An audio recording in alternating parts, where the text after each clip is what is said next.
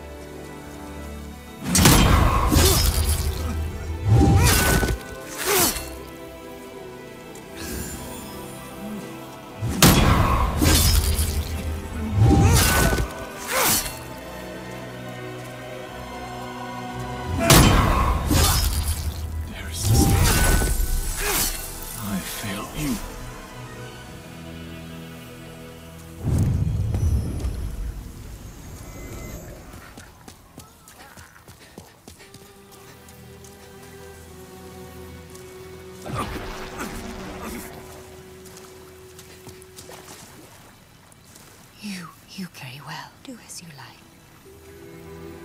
Ah!